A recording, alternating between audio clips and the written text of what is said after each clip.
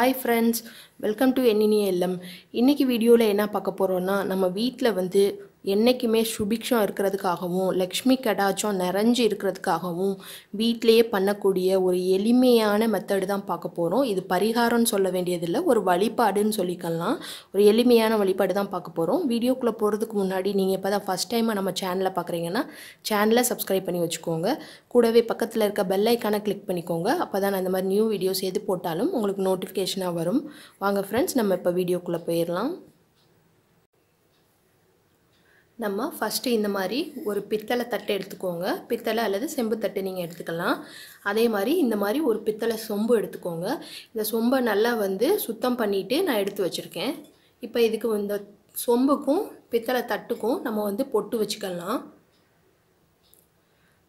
சாமி பொருட்களுக்கு பொட்டு வைக்கையில் எப்போவுமே. ஒத்த படையில் பொட்டு வைங்க. அதே மாதிரி மஞ்சள் குங்குமம் வச்சு பொட்டு வைங்க. நீங்கள் சந்தனம் வைக்கிறத விட நீங்கள் மஞ்சள் குங்குமம் வச்சு பொட்டு வைக்கிறது ரொம்ப நல்லது. நம்ம இப்போ மஞ்சளும் குங்குமமும் வச்சு பொட்டு வச்சிடலாம்.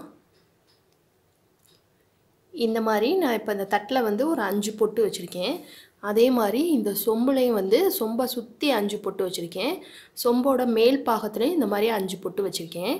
இப்போ இந்த சொம்பை இதோட சென்டரில் நம்ம இப்படி வச்சிடலாம். அடுத்து என்ன பண்ணணுன்னா இந்த மாதிரி சுத்தமான தண்ணியை இந்த செம்பில் நிரப்பிக்கோங்க. தண்ணி வந்து நல்லா சுத்தமான தண்ணியாக இருக்கணும். இதோட கழுத்து விளிம்பு வரைக்கும் நீங்கள் நிரப்புனா போதும். இந்த மாதிரி சொம்போட இந்த விளிம்பு வரைக்கும் அதாவது நம்ம பொட்டு வச்சுருக்கோம்ல அதுக்கு ஒரு இன்ச்சுக்கு கீழே இருக்கிற மாதிரி இந்த மாதிரி நிரப்பிக்கோங்க. இதில் நிரப்புனதுக்கப்புறமா இதில் முதல்ல நம்ம என்ன போட போகிறோன்னா ஏலக்காய். ஏன்னா மகாலட்சுமிக்கு ரொம்ப பிடிச்சது இந்த ஏலக்காய். அதனால தான் நம்ம இதை இந்த தண்ணியில் ஒரு மூணு ஏலக்காய் நான் எடுத்திருக்கேன். இதை சேர்த்துடலாம்.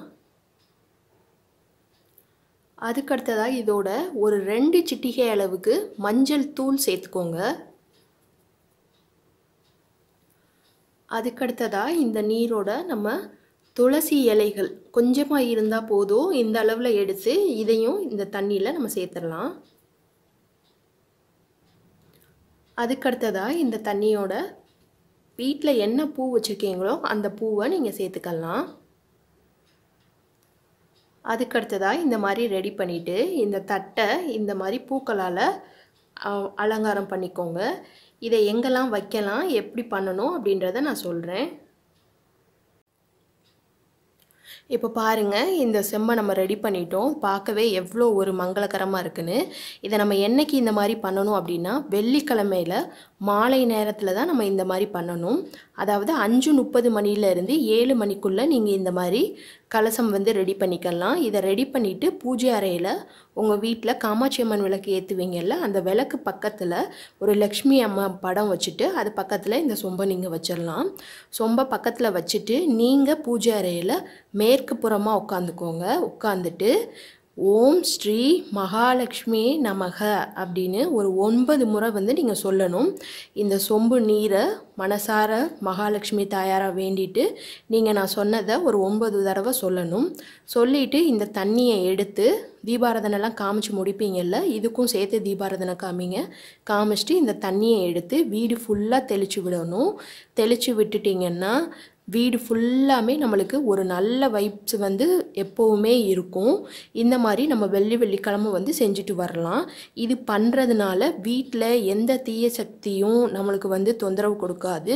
வீட்டில் அடிக்கடி வர்ற சண்டை சச்சரவு எல்லாம் கண்ட்ரோல் ஆகும். எப்போவுமே வீடு வந்து சுபிக்ஷமாக இருக்கும். நல்ல விஷயங்கள் நிறைய நடக்கும். மங்களகரமாக இருக்கும் வீடு. மகாலட்சுமியோட சுபிக்ஷம் வந்து லக்ஷ்மி கடாச்சம் என்றைக்குமே வீட்டில் நிறைஞ்சிருக்கும்.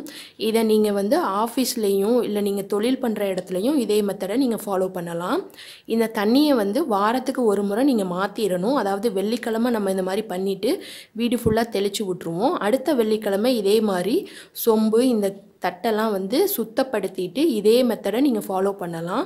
இதுக்கு வந்து குறிப்பிட்ட கால அளவெல்லாம் கிடையாது. நீங்கள் லைஃப் லாங் வரைக்கும் செஞ்சுட்டு வரலாம். இந்த மாதிரி நீங்கள் செய்யலை வீட்டில் ஒரு நல்ல வைப்ரேஷன் இருக்கும். எல்லா பிரச்சனையும் உங்களுக்கு கொஞ்சம் கொஞ்சமாக சால்வ் ஆகும். பணப்புழக்கம் அதிகரிக்கும். லக்ஷ்மி கடாச்சும் வீட்டில் என்றைக்கும் நிறைஞ்சிருக்கும். நீங்கள் எல்லாரும் இதை ட்ரை பண்ணி பாருங்கள் இந்த வீடியோ உங்கள் எல்லாருக்கும் யூஸ்ஃபுல்லாக இருந்திருக்கும்னு நினைக்கிறேன். யூஸ்ஃபுல்லாக இருந்துச்சுன்னா லைக் பண்ணிக்கோங்க. உங்கள் ஃப்ரெண்ட்ஸ் அண்ட் ஃபேமிலிஸ் கூட ஷேர் பண்ணுங்கள் இந்த இன்ஃபர்மேஷன் டெக்கரேஷனை கண்டிப்பாக இது மாதிரி நிறைய வீடியோஸ் வேணும்னா நம்ம சேனலை சப்ஸ்கிரைப் பண்ணி வச்சுக்கோங்க. Thank you friends